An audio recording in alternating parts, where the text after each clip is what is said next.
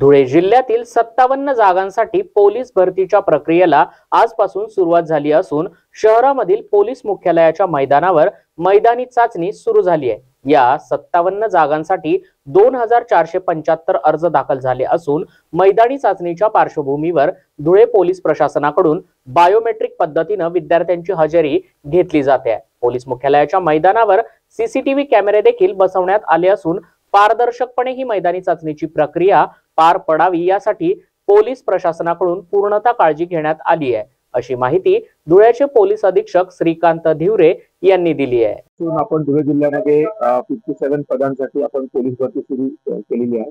त्यासाठी आपण पहिल्यांदा बायोमेट्रिक पद्धत आणलेली आहे की जेणेकरून प्रत्येक इव्हेंटला तो कॅन्डिडेट राहील तरी डुप्लिकेट होणार नाही आणि भविष्यात होणारी जी रिटर्न एक्झाम आहे त्याच्यामध्ये पण तोच कॅन्डिडेट म्हणून आपण बायोमेट्रिक पद्धत घेतलेली आहे.